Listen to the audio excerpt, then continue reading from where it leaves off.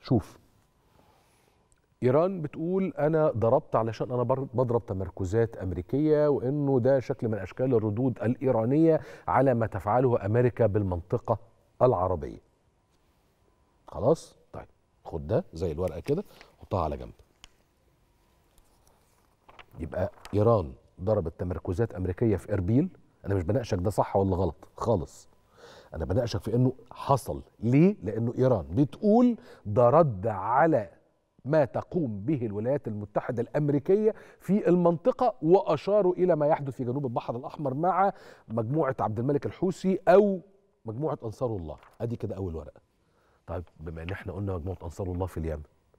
ما هو عبد الملك الحوثي قال والله أنا بعمل اللي بعمله في جنوب البحر الأحمر أو بعترض طريق بعض السفن أو أو أو أو, أو وده ردا على دعم الولايات المتحدة الأمريكية لما يقوم به الكيان الصهيوني المحتل في الأراضي الفلسطينية. يبقى دي الورقة الثانية الورقة الثالثة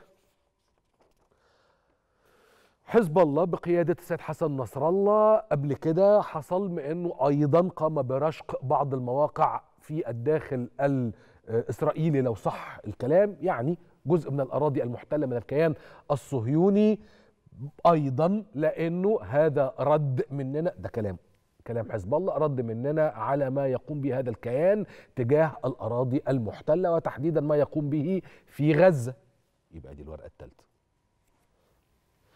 حماس اتحركت يوم 7 أكتوبر سنة 2023 آه، مش لأنها نفسها تتحرك ولكنها اتحركت بمنتهى البساطة لأنه كان في تكثيف من الانتهاكات الصهيونية تجاه المخيمات وبعض المخيمات وبعض المدن وبعض القرى والبلدات الفلسطينية بل وانتهاكات من قبل المستوطنين للمواطنين الفلسطينيين وهم المواطنين الأصليين بالمنطقة بخلاف انتهاكات أخرى كانت في القدس نفسها بل وفي حرم المسجد الأقصى. فتحركت حماس يوم 7 أكتوبر بعملية طوفان الأقصى.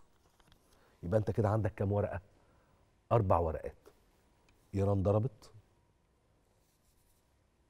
عبد الملك الحوثي ومجموعة أنصار الإسلام ضربوا. حزب الله أنصار الله قصدي ضربوا. حزب الله ضرب ومن قبلهم أول واحد طبعا كانت حركة حماس ضربت. آدي أربع حاجات بتقول لك إنه العراق جنوب لبنان الداخل الفلسطيني جنوب البحر الأحمر فاضل جبهة واحدة بقى الجولان من عند الجبهة السورية. يبقى كده هتبقى الورقة الخامسة ولا أعتقد أنها بعيدة. قادمة قادمة ما الذي ينتظر العالم حتى يقتنع بما حذر به أو حذر منه فخامة الرئيس عبد الفتاح السيسي باتساع دائرة الصراع التي سوف تشعل المنطقة بأسرها. انظر جيدا للخريطة. عراق سوريا لبنان فلسطين جنوب البحر الأحمر اليمن. ده معناه إيه؟ معناه انه كل منطقة شبه الجزيرة العربية وصولا إلى أقصى الشام على سواحل البحر الأبيض المتوسط تحت التهديد. تحت التهديد بشكل عام. ما هو إسرائيل هي الورقة السادسة. يبقى المنطقة دي منطقة مشتعلة. آدي السادسة يا مولانا. ما الذي ينتظره العالم؟ كل اللي قاله فخامة الرئيس حصل. كله. طيب طب ده ما ينتظره العالم. هنقعد بقى نستنى العالم وهننفخ في القرب المقطوعة. طب ما تيجي نفكر إحنا نفسنا في أنفسنا كمجموعة عربية وإسلامية. أما آن الأوان إن إحنا نستخدم الكروت اللي في إيدينا ألا وهي المصالح الأمريكية في المنطقة؟